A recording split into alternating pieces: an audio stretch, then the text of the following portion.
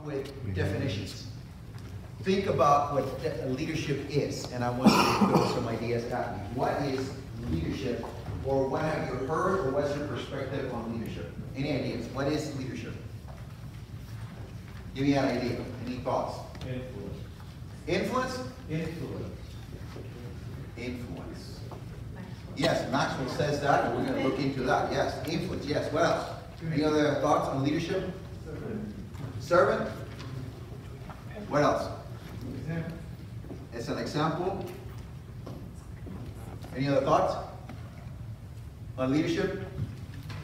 Reliability, I'm sorry? reliability, Re, explain that be word. reliable. Okay, reliable? Reliable.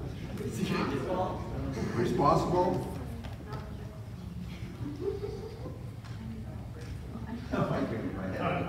Any other words? Any other words on, on leadership?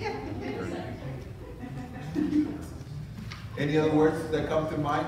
Courage, Huh? courage, Worthy. Trustworthy. Yes. Trustworthy. You understand why I write like this, right? So you can't tell my misspellings. courage, Any other thoughts? courage. Consistent. He doesn't want to hear that. Current? Courage, yeah. Oh, courage. How about current? Informed? What's another one? Uh-huh. Stubbornness. Stubbornness. Why? Why? Why, Jenna? If you're gonna stick with it, you have to be stubborn and, and not give up when it gets hard, because it's. Okay. Tenacity. Corrector. Huh? Corrector. A corrector Director. or director. How about a corrector? Teacher. Yeah. Teacher. Example. Example. Oh, oh great. Loving. Loving. What's another one? Mentor. It's a mentor. Enthusiastic. Enthusiastic. I just want to see if you can spell it. Shepherd. I can't even do it in Spanish. Shepherd. Capable, Huh? capable. Capable. Okay, what else? Communicator, Communicator, yes. Humble. Humble, yes. What else? Intentional. Focused, intentional, oh my goodness, yes. I don't think we can read any of those. I can. You want to try me? No. So, Sydney University has a, a program on leadership, and they went out on the streets and they asked people about what leadership is, and see if we can match any of those people that they match with these. Here is uh, their video. Oh, we don't have the sound. That. Let's try that again. I think uh, Ross is going to help us.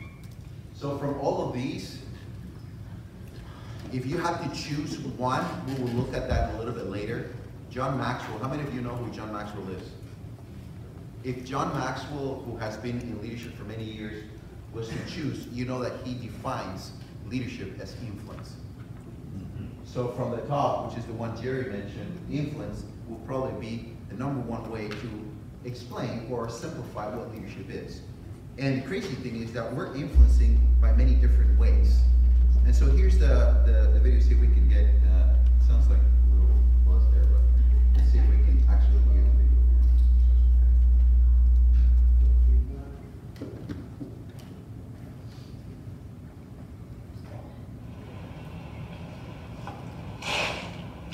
So come up to the that marker. So uh, I look straight down the barrel. You ready to go? All right. Well, let's start. When you think about leadership, what comes to your mind? It's a good question.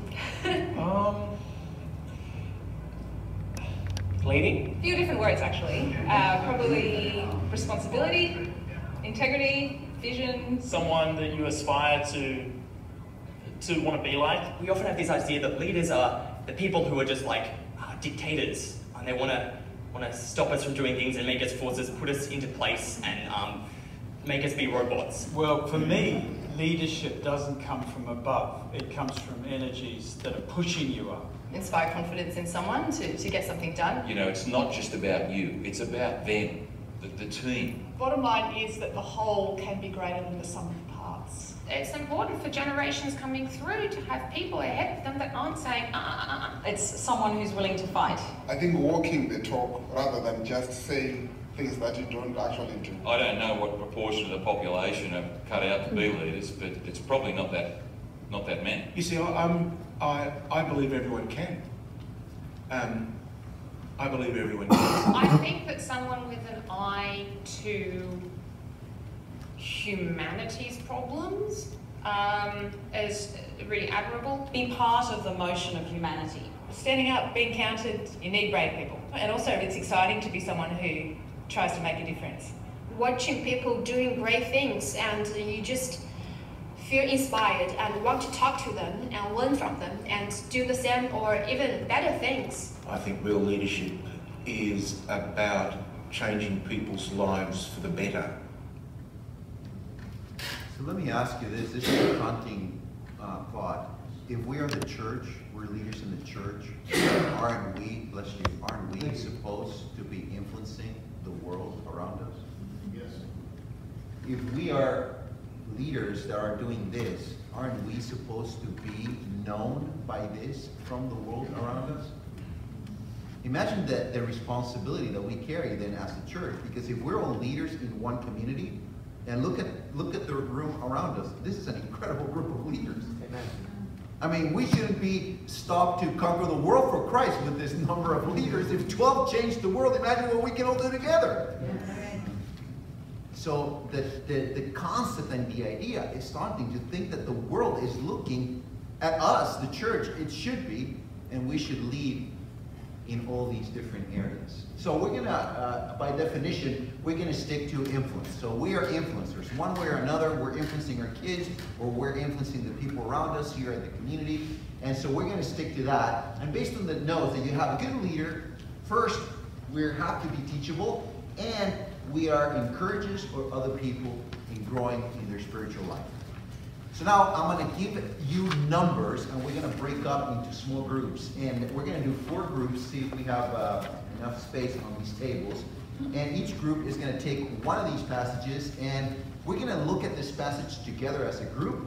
And I'm going to be, give you big sticky notes. You're going to write some of your comments in big words, because each group is going to come up here, and you're going to share your thoughts on what you found is leadership, or how is that passage related to leadership. Are you ready?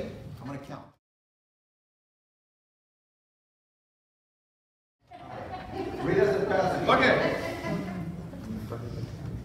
My Bible says, It is not that I have already obtained it or already reached the goal. No. I keep pursuing it in the hope of taking hold of that for which the Messiah, Yeshua, took hold of me. Brothers, I, for my part, do not think of myself as having yet gotten hold of it. But one thing I do, forgetting what is behind me and straining forward toward what lies ahead. I keep pursuing the goal in order to win the prize offered by God's upward calling in the Messiah Yeshua. Therefore, as many of us as are mature, let us keep paying attention to this. And if you are differently minded about anything, God will also reveal this to you. Only let our conduct fit the level we have already achieved. Brothers, join in imitating me and pay attention to those who live according to the pattern we have set for you. Joe, what version is that? Philippians 3, 12 through 17. Oh, CJB. The CJB. It's the CJB version. Wow. It makes sense to me, and so. I read it in the King James, and then I find a version, and I'm like, oh, yeah. Okay, all right, so Phil read it, and I was like, ugh.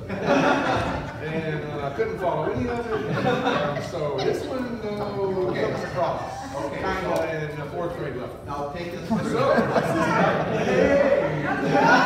Be an example. Putting of encumbrances. Oh, oh that's on. Oh, you tripped me for And why did you, why did you guys discuss about that? What does that mean? What, what does that mean?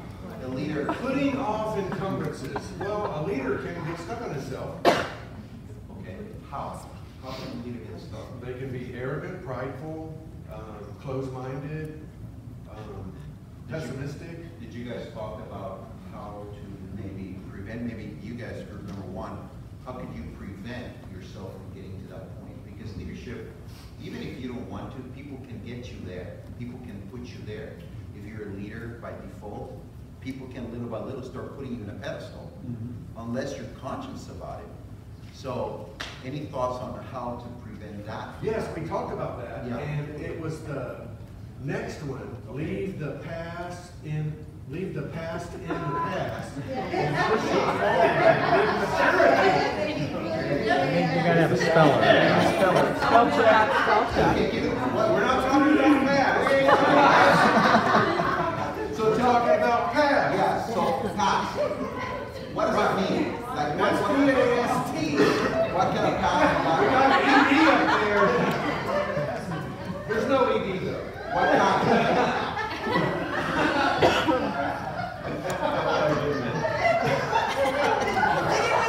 Here we go. Pushing forward, maturity. Hey, can we, can we lock this in our website so nobody else can see it? It's password Like,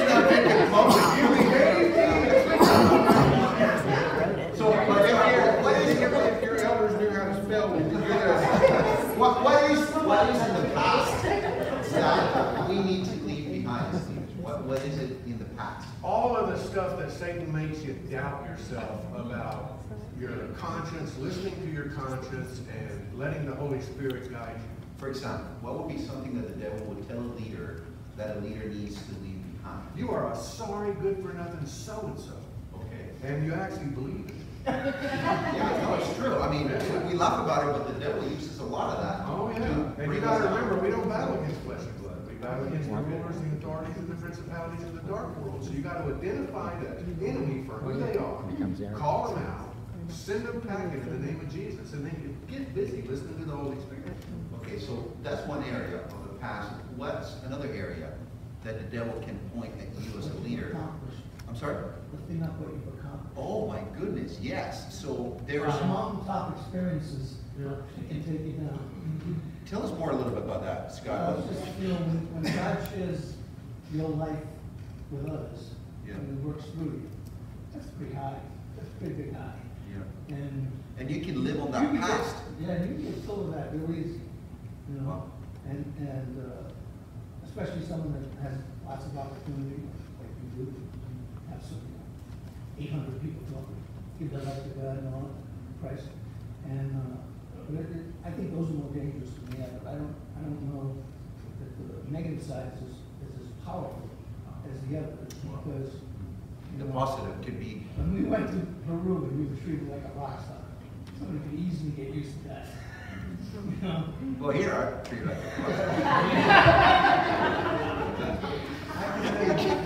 like negative, yes. Go ahead, go ahead. It's extremely hard to get over when you're saying things you've been in jail. How are you doing that? Okay, okay. So past mistakes that he can bring, okay. True. Okay, Chuck, next one. From a high point, you can be like, you can like win the national championship, and you're extremely vulnerable for doing something stupid, or, or, uh, being so caught up in yourself that you're, you're, you're a sitting duck, you're a target. Nebuchadnezzar. What's that? Nebuchadnezzar, yeah, yeah, there you go. Okay, what's the next one there? Chuck. Two, give me just two more. Maturity, uh, how about, uh, the attitude one? What did you guys talk about that attitude one? What is that? What does that mean? What should be the attitude that the leader should keep? A good one. Oh my goodness. That is deep. Gee, uh, we definitely need to keep this on the book. It's good. What, what would be a good attitude that should define a leader in a community like this? Humble.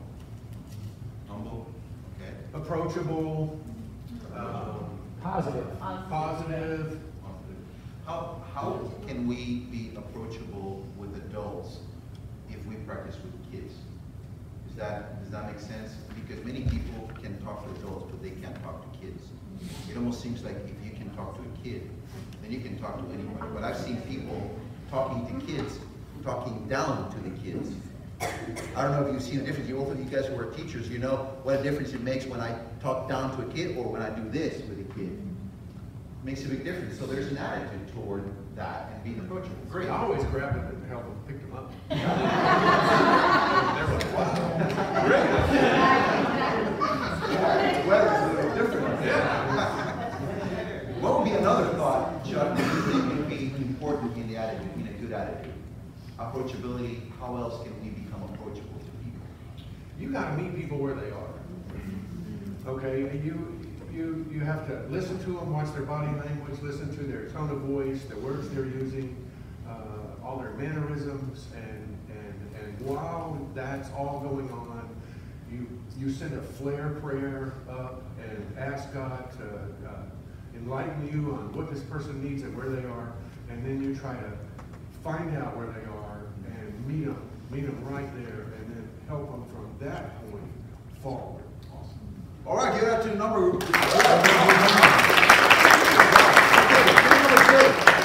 was that, who led number two? Or who was part number two? Jerry. Who are you guys are gonna assign? Oh, Jerry! Jerry, okay, Jerry. Give it up for Jerry. All right, Jerry.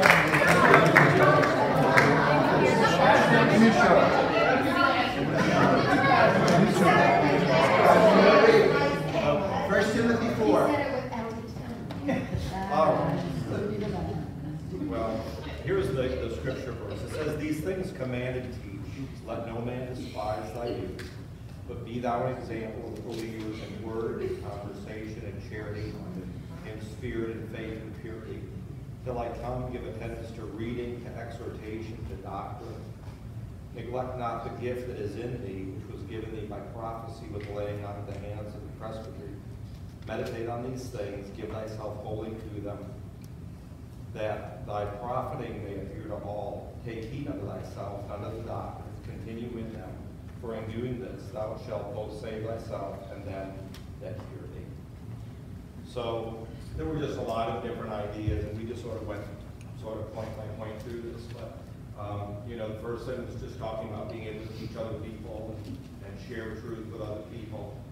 Um, and then, you know, talking specifically to Timothy, who was a young man at the time, and basically uh, Paul was saying, don't let that limit your ability to lead or feel like, you know, you're not capable because of your age. Okay, so then let me ask you this. All of us who are leaders here, how easy it is for us to be on the other side of the incoming leaders, maybe the youth. Remember, this passage is Paul telling Timothy, don't let anyone look down on you because you're young. Why is he saying that? Because it's almost a given. When people are young, mm-hmm. they're taken as less important. Mm-hmm. Part of our job and our responsibility as leaders is to be able to look at the new generation, the younger generation, and apply this so that we don't look down on them because they're young. Am I explaining myself here? I mean, I, you have no idea how many times I've heard of comments of people saying, oh, this kid here, or this kid here, or this children here, or this children here. But it's our responsibility to see them differently like Christ sees them. Am I explaining myself here? So this verse is extremely important for us to meditate as leaders and think, oh my goodness, we have a whole generation of young people who have leadership potential, who we should not look down upon. Amen. But we should be a congregation that celebrates young people and that identifies young people's leadership and gives them the platform to do it. Does that make sense? Yeah. Because it's not just Timothy, right? It's us meditating and thinking as Paul. Oh my goodness, don't let anyone look down on you, but we need to be conscious about not doing that for the new generation. Because before we know it, we do it. And we start looking down on young people just because they're young, which you know they shouldn't do. No, because they're young, they should. Because all revolutions on, in history were led by young people, right? So we need to keep our conscience about that. Great. Two more. Choose two more from the list. Oh, well, I think one of the key ones is this next one, the whole idea of being an example, and it actually, you know, gives certain specifications, like what you say, the way that you act, in your love, in your purity, in your faith, you know, among all these different areas to be an example. And, um, and then probably just the next one, I'll just go with the, this one sort of stuck out to me because Cynthia and I were part of a leadership organization one time, and they constantly were talking about the importance of leaders being readers and always reading and studying and, and, and learning and growing yourself. And, um, and then being a good listener and being willing to be teachable and hearing from other people. And, and then also, um, How do we do that now, Jerry? Help me understand that organization. How do they do that? Because here, it's, it's scripture is very clear. It says, attention to the public reading of scripture. Yeah. You can't go to any mall here and do this. You know, they'll kick you out. So how does that look today? I'm not sure if I understand. Are you talking about personally? You know, you I'm- go to hear public? Yeah, you're saying, you're saying devotion of public reading of scripture, preaching and teaching. Six thirty Chick-fil-A on Tuesday morning. Next Thursday, we'll probably read God's word and do your own Bible. Public, yeah. Well, you know, you're a lot, I was thinking about just the radio, I mean. Okay, radio, listen to the radio. Christian radio, I mean, now you can have your app, your Bible app, and you can drive down the road and listen to scripture. Isn't that amazing that now we can actually listen to many different translations on our, on our Bible app? Yes, Jenna? I have the privilege of doing that in our classroom and when I scan people often, so that's a, that's a privilege that the one experiencing, so that's a. Just reading. You just read the scripture. That's awesome. Okay, and one more, Jerry. Uh, And, you know, somebody just mentioned the whole idea, I think Gary has talked about, you know, if we're gonna, you know, when you lead, you should do it with your whole heart. I mean, to have confidence in what you're doing and, and do it wholeheartedly. Um, What is the difference between doing something wholeheartedly and doing it by style? That people, do you see the difference between doing it wholeheartedly and people confusing that with style? I just learned today that somebody left relevance because they didn't like my style of teaching. But you would probably agree that when I teach, I'm passionate about it. Oh, so how do we distinguish between wholeheartedly and style? Well, you know, let me just make a comment about that, because, all right, when, when I first started teaching, Yes. I had an opportunity to, to hear a, a very popular um, educator, and his name was Wong. Okay. And he always said, don't forget, the long way is the white way.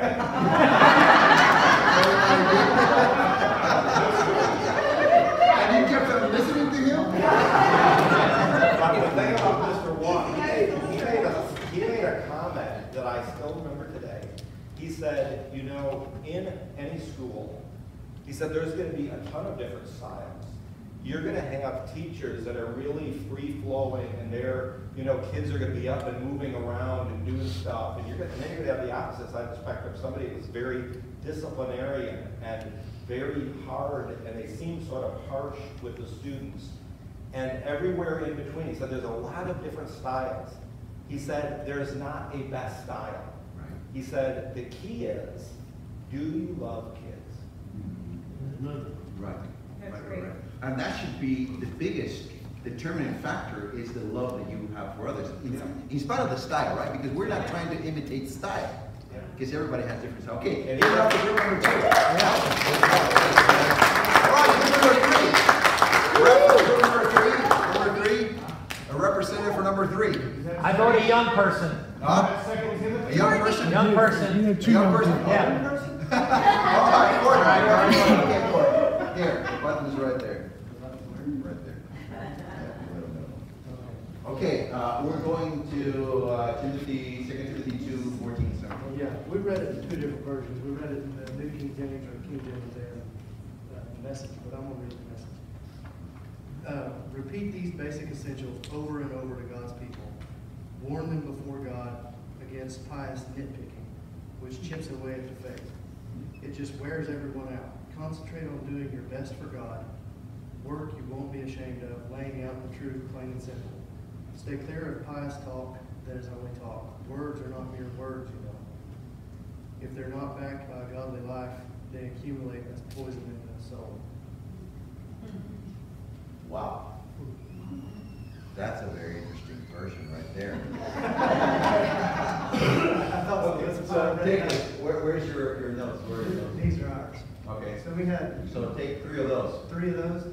Um, these are what not. Uh, so as far as good ones, um, unashamed of the gospel, no matter what, don't be ashamed to spread it to whoever, wherever you're at. Um, I can specifically say that was where I was. Uh, What was the hardest thing?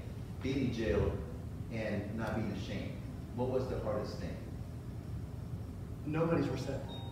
Nobody is. Nobody. You would think that in jail people would be. One would think, but um, of all the guys, there were 64 guys in the dorm that I was in. Of all the guys that were there, you know, there was a bunch of them who would see me reading the Bible because that's all I did. Um, I, I tried to stay separated from the group. So it was a big room where the tables were at. So when nobody was out there, that's where I was at. But when everyone was out there, I stayed them.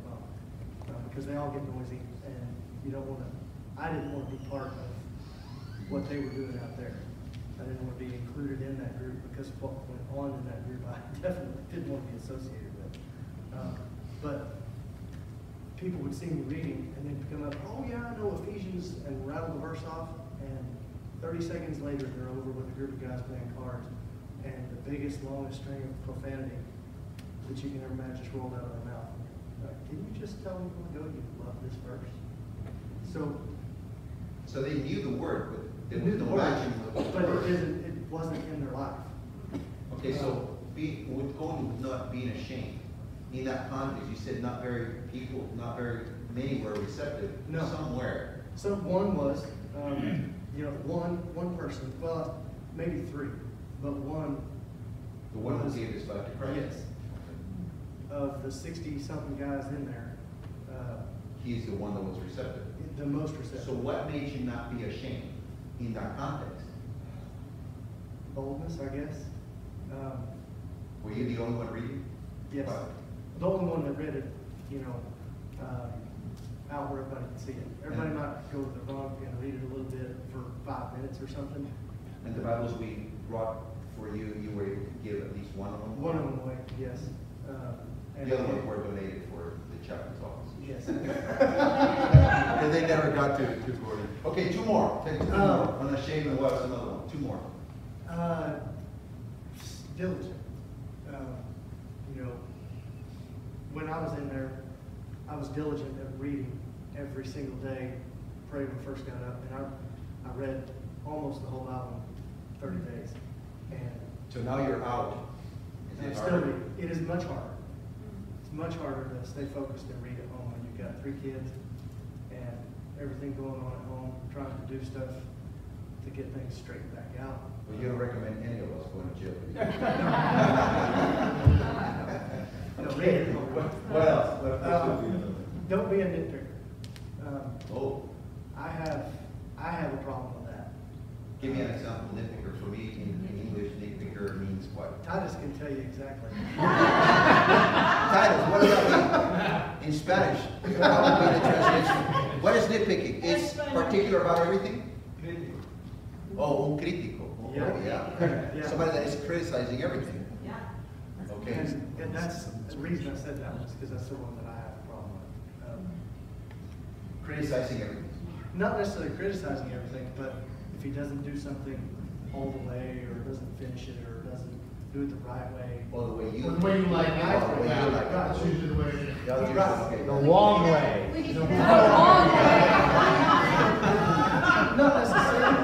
But it's the opposite of an encourager, but you know, maybe you can take it too far. Because there's there's a point where the nitpicking where you're pointing out doing something wrong is right, but nitpicking every little thing, and I know I have a problem with it. Can somebody give me an example of where nitpicking is okay? Where it's okay? Yeah. Yeah. Well, it's, it's sort of, okay, I remember Pat Shamar doing a teaching one time, and we were talking about character. But if you're a nitpicker, that's an indication that you're probably a very thorough person. And so what you've done is you've taken something positive, thoroughness, and turned it into a negative by it being out of balance.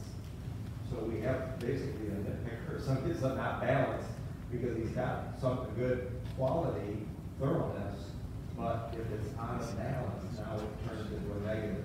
So somebody says, sometimes you can tell somebody's good character qualities by seeing the way they abuse them. Okay, so then, is there, is there a point where you can be a nitpicker and be positive? Okay, well, I think about Casey Carter. Casey Carter. Oh, Casey Cut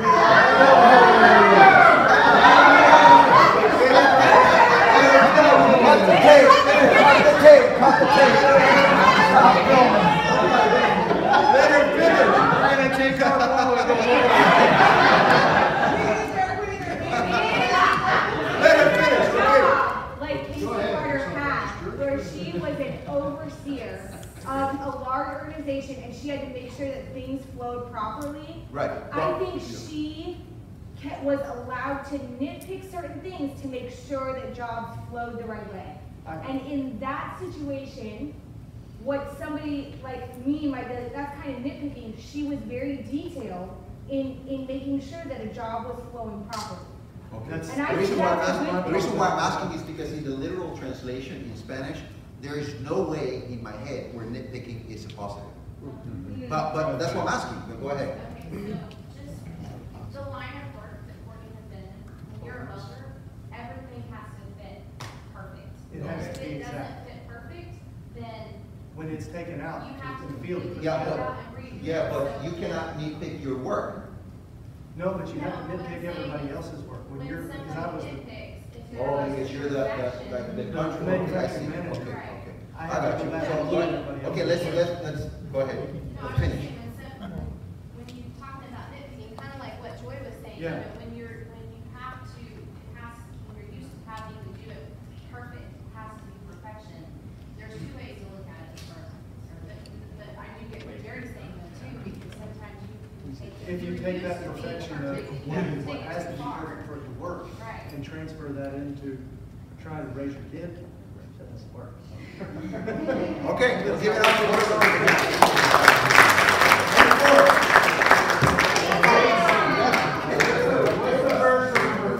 Titus two. Six and eight. What were you gonna say, Kyle? Uh, Melody Grant had a really good way of it for nitpicking is in baking. In baking, everything has to be exact.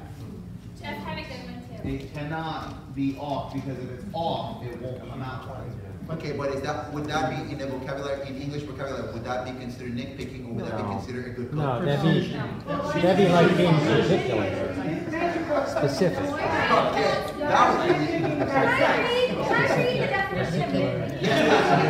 Go ahead. Because nitpicking technically is a negative term. Yes. What Casey does would be detailed, she, Right. she. So yeah, she's nitpicking, But, but the negative term, here's the question. Okay, so here's the definition, the definition. It looking for small or unimportant errors or faults, especially in order to criticize unnecessarily. Oh. So to answer your question, Jeffrey, there is no good nitpicking. Right. Yeah. Because I'm, I'm a teacher and I teach things like this, it's about connotation, certain words have certain connotations. Uh, when you hear a certain word like stubborn, you automatically think of it as a, in a negative sense. So Kyle just cleaned it up and made it, what'd you say?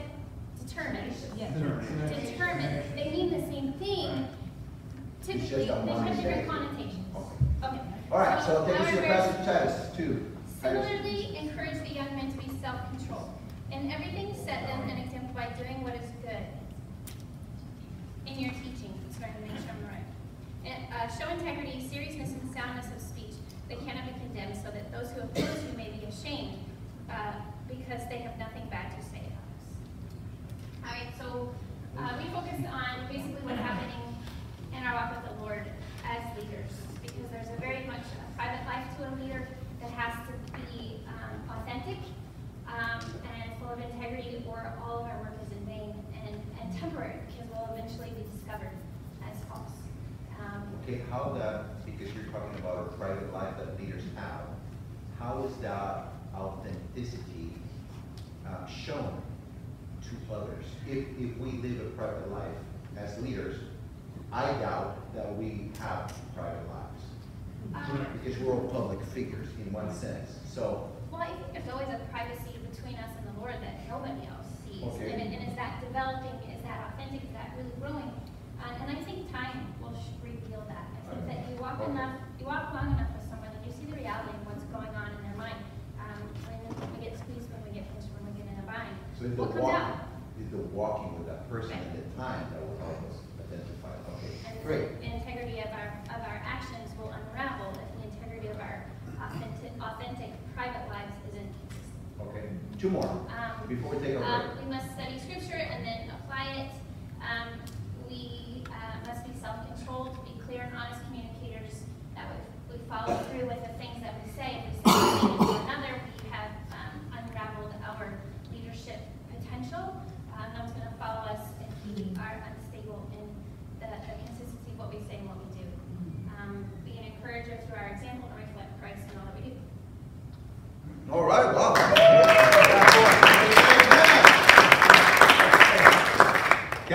Come back, we're gonna take a ten minute break, and when we come back, we're gonna break it down one more time, we're gonna look at one more passage, and then we'll be done for tonight. So thank you so much for being here. Let's take a break. Thank you, Amy, for helping us with some of the refreshments. Give up for Amy.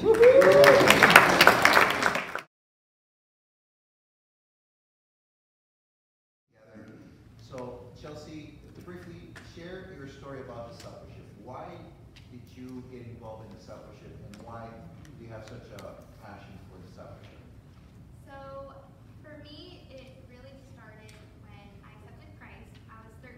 I got saved um, at a camp. It wasn't Whistler Mountain, but it was at a camp. And um, the camp counselor said, okay, read the Bible. And I started in Genesis. Because what you do with the beginning of a book, start at the beginning, right? So I didn't really know, I had tons of questions and it kind of just fell flat. I didn't really know how to grow my relationship with the Lord. So when, um, fast forward years and years later, um, when I worked at Whisper Mountain, I um, really felt that void personally for me with, with not having somebody to walk through um, my life with God and walk through scriptures. And um, I saw that with the high school girls that I was dating. And so I just was like, oh my goodness, it's like A equals C. Like, I'm a Christian, this is a Christian, I should help him walk through life, you know? And this is what the word says, you know, Matthew 28, the Great Commission, go and make disciples, go baptize them, teach them. And it's just the calling that every single one of us has as a believer. Um, and, you know, I felt, and I still feel, very inadequate in it. I don't know the Bible, you know, through and through. I don't know every single verse in there. I, I still make mistakes. I'm a sinner, you know, I need Christ. But no matter where you are at, you're in the Word and you love God, you're a disciple maker. So that's kind of You got involved with a group of girls because you were a camp counselor.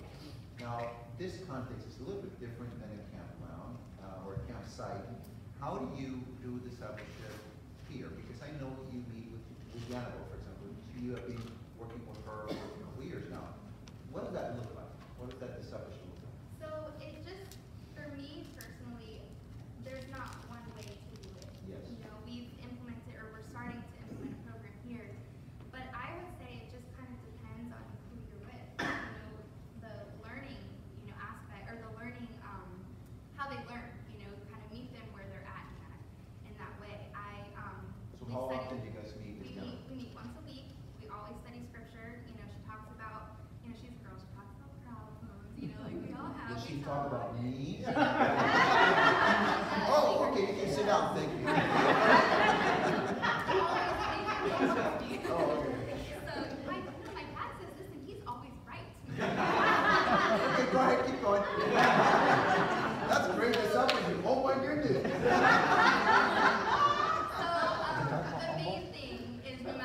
All that about, one. like, Let's always go relax. back to scripture, always. And so, um, even if it's just a verse, you know, hey, link to this this week, and you know, we'll text back and forth, you know, how are you doing your Bible reading? Um, you know, how can I pray for you? Just connecting with them. I mean, we're friends. Not, you know, it's not student teachers, we're friends, and I'm, I'm here to help her in her relationship with, with Christ. So, yeah. You've seen the impact in your life, you've seen the impact of many girls that you've discipled through the years. Now, we have this great opportunity for the first time as Relevance Community, come together as leaders and consider the seriousness of the discipleship and the focus, laser focus of the discipleship. What would you tell all, all of us, since you've been discipled, you've been discipled and you have been discipling others, are some of the biggest challenges that you faced and the biggest uh, joys that you faced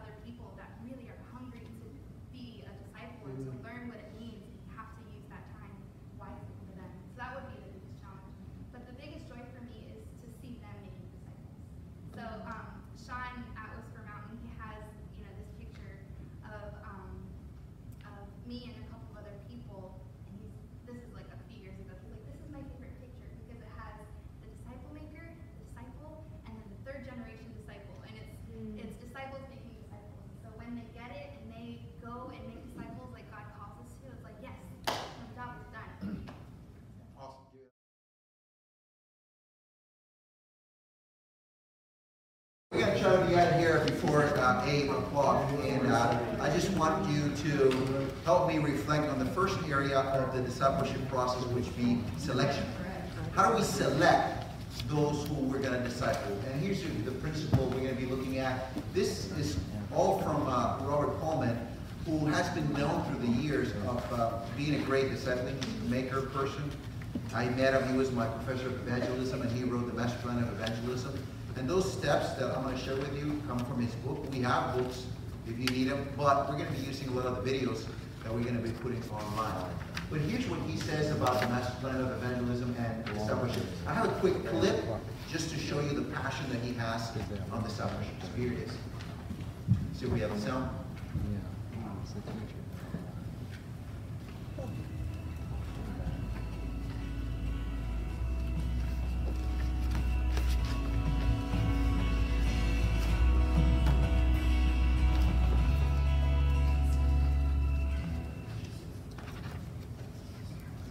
works for both of us.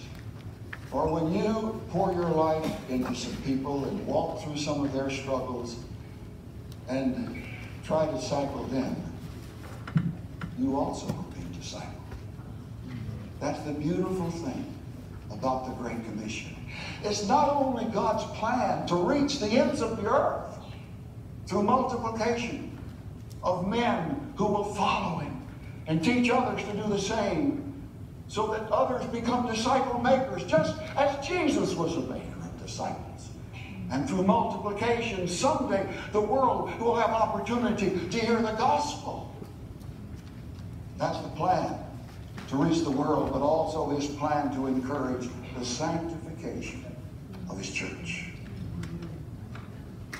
Yeah, can you, can you sense the passion that this guy has on discipleship? Well, let me tell how I learned about this guy. Uh, when I was doing my master's degree at Columbia International University, I heard about this guy at Trinity International University doing groups of discipleship. Unfortunately, I got there the year he retired.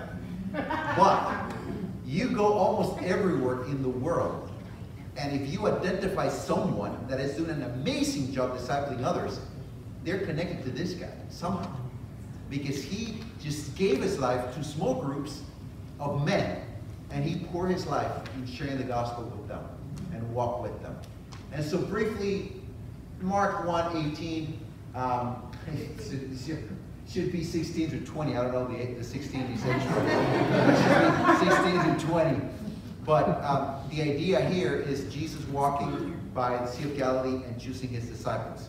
The passage, we can read in many different versions, but I found a really nice video that basically shares this passage. So here's the video to illustrate what that might have looked like. Putting aside that Jesus didn't really look like him, but here it is.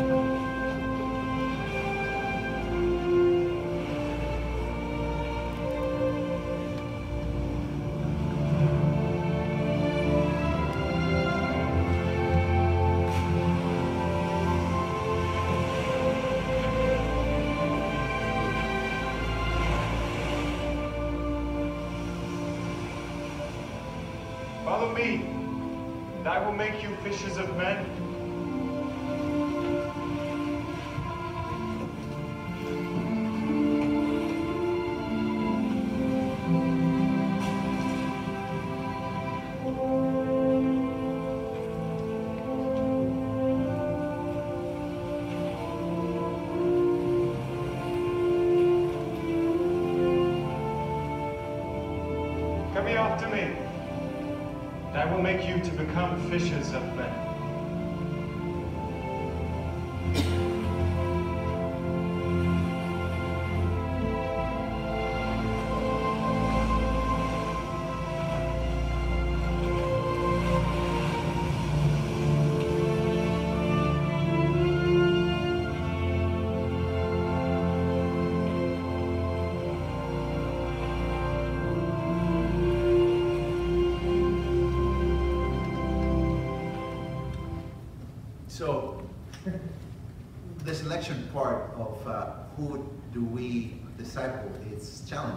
Because there are so many people in a community of people. How do we choose who are we going to disciple?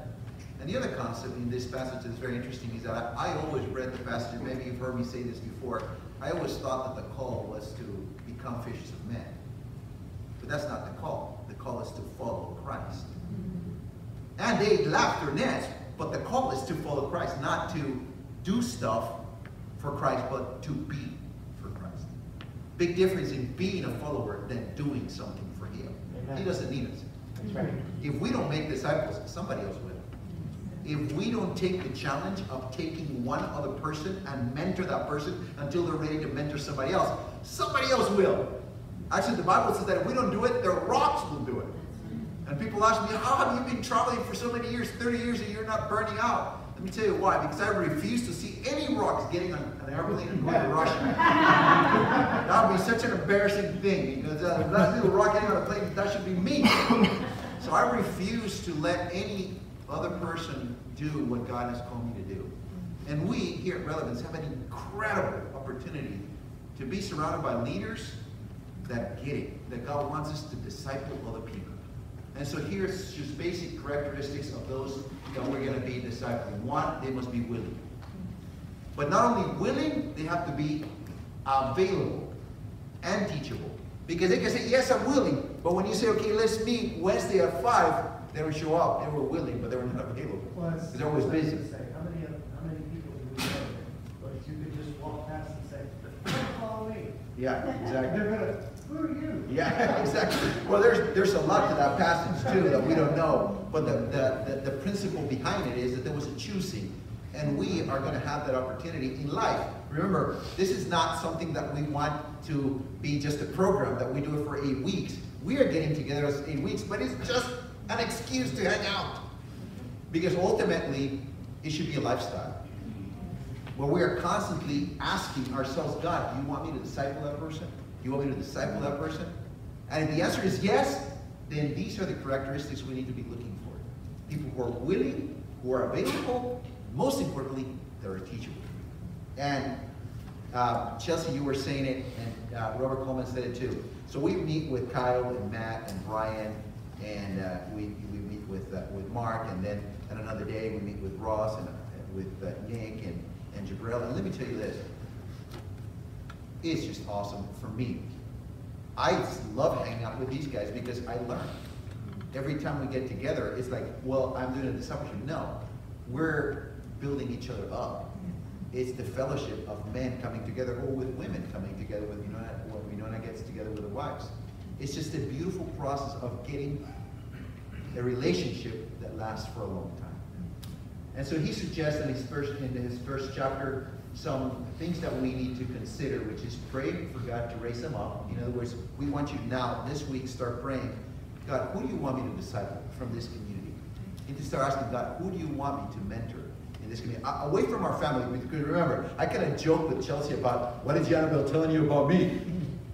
And the reason why I kind of jokingly joke about that is because I am personally responsible for discipling my kids first. So I understand that that's our number one responsibility. But beyond our sphere of influence of our family, the challenge we want to give you is there's other people that you can be influencing as well. And in this case, we need to be praying for them. God, raise them up. Show me clearly who you want me to mentor. Notice receptive hearts, especially those drawn to you. I told you, today I heard that somebody left relevance because they hate the way I teach. So clearly, not everybody's going to like me or my style or are you going to feel identified with me. Am I going to kill myself over it? No. We love them, we'll miss you. we have that special friend. I can't, I can't tailor to everybody, but there's certain people that can connect better with me. And those are the ones that I want to disciple. Let me just give you an example. So we're doing the discipleship Sunday night. I'm not the geeky kind of person. I'm more the kind, the, the sporty kind of person. I like to do sports. And when I went out uh, Sunday night, there were like four guys playing basketball out there in the court. Non-Christian guys, of course. They're playing the music, they're cursing, all that kind of stuff. But immediately, I was drawn to them, and they were drawn to me just because I like sports. And the first comment that one of them made is like, "Hey, is that a Tesla with ludicrous mode?"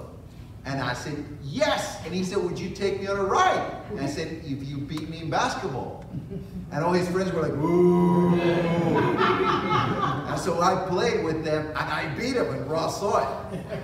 And I still gave him the ride. and at the end, there was a bridge that was open because we were drawn naturally by something we both like. We like sports, we like cars. So that is something that we need to be receptive to. There's certain people in our community or maybe outside our community that you hmm. are drawn to naturally. Those are the people that you need to be aware and conscious about because those are the ones that you will be able to walk through the process of discipleship. And of course, keep a low profile. We, through the years, our team in, in Latin America that disciples people have been asked the question, what is the best discipleship manual that you know? Let me tell you, there's a bunch of manuals out there. One of them is uh, perspectives, navigators. There's a bunch of one, a, a, bunch of them, but they're so loaded and so heavy and so full of homework that I don't think everybody can take them. So I decided to take low profile, and I decided to say this sounds so spiritual, but I said the best manual for discipleship is the Bible. And just study the Bible instead of taking a manual that makes it so heavy. Just low profile. No, we're just going to hang out and we're going to study the Bible together and build a relationship. Does that make sense?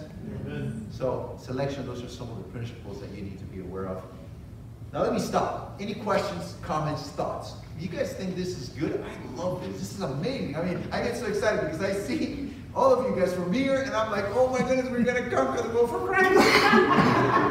it's so exciting because when you think 12 made the impact that they made, and look at all of us here, all with incredible leadership potential, there is no limit to what can happen. So I, uh, I am so excited because this, for me, means that, yes, God has given us, each community, the resources to impact the world for Christ. And so this is very exciting to me. But any other comments, uh, suggestions, questions? Smart remarks. Nitpicking. Before we go. Yes. Do you, um, do you foresee like a specific time commitment with the supplement? Like we come here for eight weeks. Uh, do you, from some of the books I've read, um, it's, it's nice to say, okay, let's, let's have a you know, twelve week or whatever. Six months, we're gonna get together, and I'm gonna encourage you to find someone else to. Yeah, I think it's great to have a time frame, but it depends, Chelsea was saying, it Right. depends on the person as well. It's like our kids, you know it eleven times. Each kid is different, Right. and you cannot get them to grow the same uh, time frame. I'm, I wish I, I, I could, I, I only have four, and I can't get them to focus on the same time frame. So, yes, it's good, but we have to be flexible to think that maybe it will take eight months instead of six, or maybe they'll get it in four, and they'll be discipling somebody else. So I think it's good to have it, but we have to be flexible with it. Yes, Stacey? But in your book, there is a suggestion. Okay. Now, this is not a have to hard fast rule, but starting March the eighth is like Pastor Jeffrey went over selection, okay? So next week, it's association, and so that's what you're gonna be doing, first week selection, second association. So you'll have eight weeks if you wanna follow this with your disciple. That, that's the plan. Eight weeks, even though personally, eight weeks seems very short time to walk with somebody the steps of life. But these are eight principles that will help you understand better how long you're gonna extend that relationship until they're ready to disciple somebody else. Phil has asked that many questions, uh, many times that question, but when, when do I stop? I mean, when do I say, okay, guys, it's enough, you know, you know, now start discipling somebody else? And so there's not one specific amount of time. I think, well, Jesus used three years. We could also say that. but- And some of them still work. right? Yeah, exactly. Okay, any other comments? Yes, Scott. I found we had a discipleship group that lasted about ten years. And it was, uh, very difficult time of day, it was Friday mornings. Oh, yeah. So people had to be either come and go to work late or, you know, did not work, but, but, um, well, what made it last so long, we, we impressed upon them to continue to invite to the group. Okay. And then what we saw was, you know, people was inconvenient for to come on Friday mornings, well, they started their own group in Cape Coral, and, and then another group over in Lehigh. Um, so it was by continually adding, just, you know, hey, look for somebody that you can bring with you, you know, and, uh. And that grew, and he was changing, right? Because he was not, It's was. constantly changing because of that, because, you know, they'd all wanna come and stay in the group. The trouble is, that gets awful comfortable. Yeah. And then you start, start to go crazy, you know, you start criticizing, script- sometimes it's too deep, you know, you- you've been, hammered it over too long. And, uh. You want to encourage them to start their own. That's exactly, and that happens by just association. They Yeah. make, you know, two people live in Cape Coral, yeah, go ahead, start, start over there. And we have to be intentional about it. And it. neither of them go visit theirs every once in a while. So you're not doing it Friday night anymore? Friday mornings? Oh, Friday morning? No, uh, not anymore. We're thinking of restarting something, but. In May. No. Good, okay. Okay, any other comments, guys? is a retreat. Okay, all right. Leadership retreat in Maine, guys. Any other questions? Comments? Yes, Joy? I just want to say from a, um, a staff and probably an elder perspective, this is amazing. Woo! Yeah. Really, really amazing. This is, um, I mentioned something to Amy, it's just really encouraging to us. Um, and I know to Chelsea to see that you guys are passionate about this. I mean, we've been praying about this and Chelsea's put a lot of work into it and we talk about it in staff meetings and everything. I know that elders have, um, really been working on it really hard and to see all of you guys here, like, really makes me want to cry. I mean, it's just really awesome because this is, like, this is our church. Like, this is the leadership. This is what's going to move our church forward. This is, um, I just think it's really awesome that we get together and we spend this time together. And I just know from a perspective of us, it's really encouraging to us to see that you guys are excited about doing this. So, Thank you. Yes. Thank you, guys. Okay, let's stand. Let's pray. With this.